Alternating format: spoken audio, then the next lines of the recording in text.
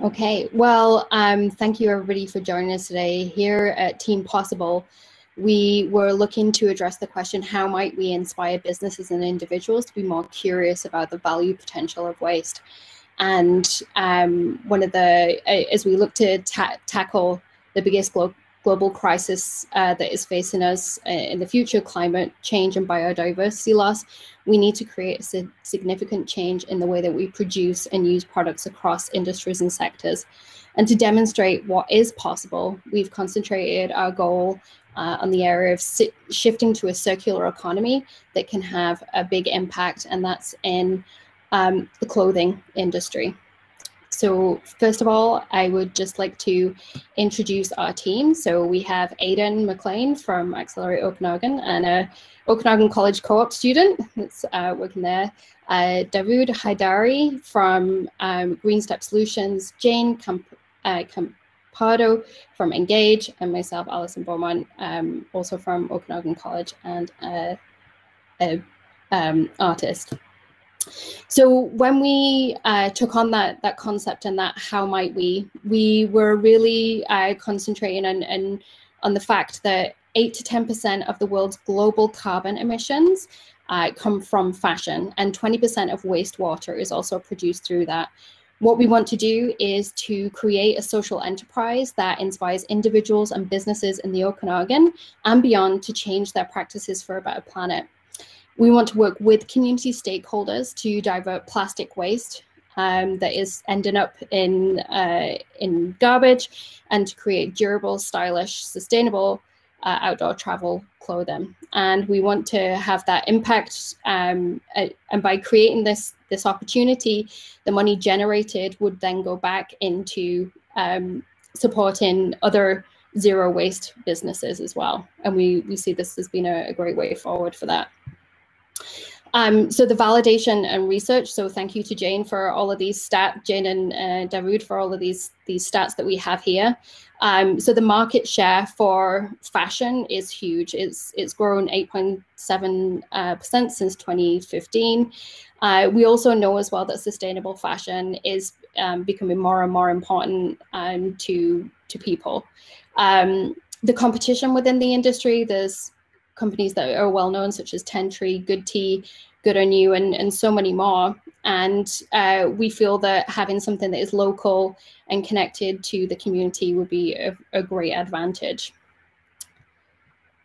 So, what is the idea? So, the idea is that we take plastic uh, recyclables from uh, and working with school districts, businesses, and municipalities. We know that currently what's happening is that that uh, those plastics are being transported all over the province to be actually recycled into materials that then can then can be used uh, uh go further.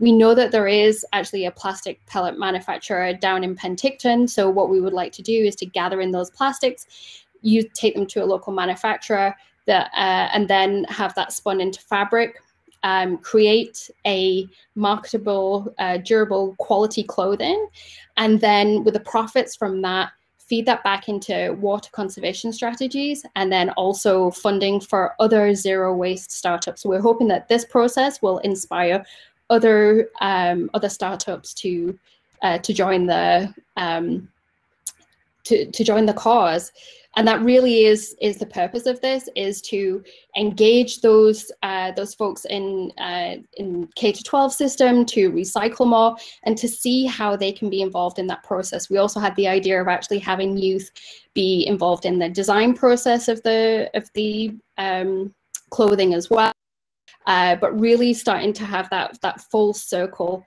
of uh, of circular economy so that we you know we're having that happen within our region. And Aidan put together an amazing video that helps to speak to why this is important.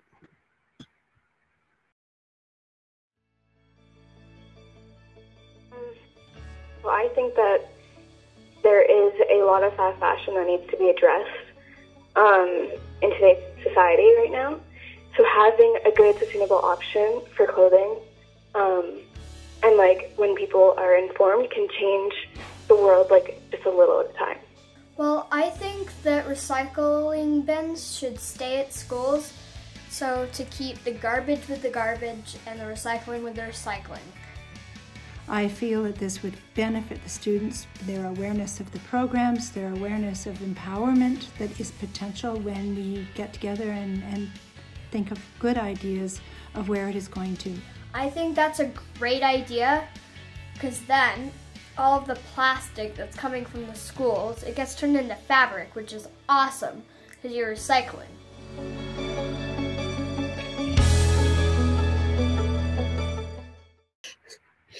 So I realize that we've uh, we've we've gone over our area there, so I don't want to take up uh, too much more time. But identifying key milestones and metrics uh, to have uh, a manufacturer identified by 20 uh, January 2022 to generate income uh, in a pilot test in the first year um, but really to um, to recruit ambassadors and influencers throughout the different generations and really feed back to uh, to the communities. So our ask would be 150k for an investment. Um, this is a huge project um, spanning across the Okanagan, and you know a lot of machinery um, is needed for this. So that's why the investment I think is so large. Um, we would hope to have 10 team members on on our team uh, supporting this uh, project and business.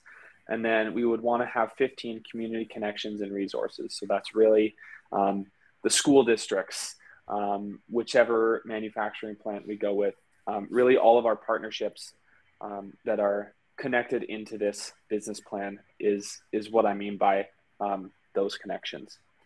Uh, yeah going to go first, Phil. Give you your whole swap.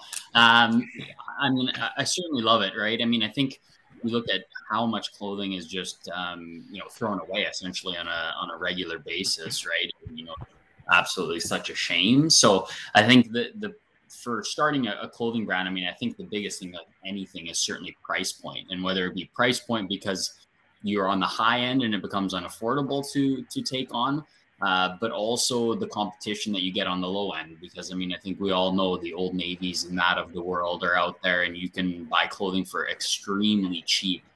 Um, you know, and I think as people's kind of pocketbooks get pressured more and more on a day-to-day basis that becomes a bit of the struggle when you look at some of these uh, you know types of brands and trying to be good to the environment but also you know trying to make it fiscally feasible for a family to be able to outfit themselves that way. So i mean i, I certainly love the idea.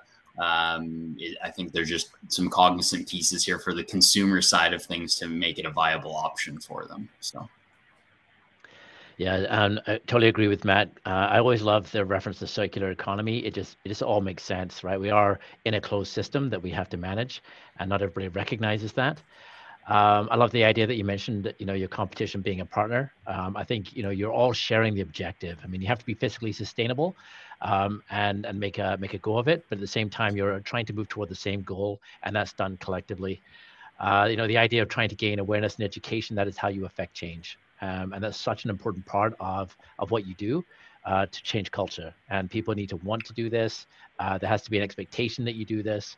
And you know doing things you know like the pellets you were talking about i know with the the big mass of plastic in the pacific ocean um, and the and what they were doing there they were taking that back taking those plastic pellets and creating sunglasses strictly as promotion.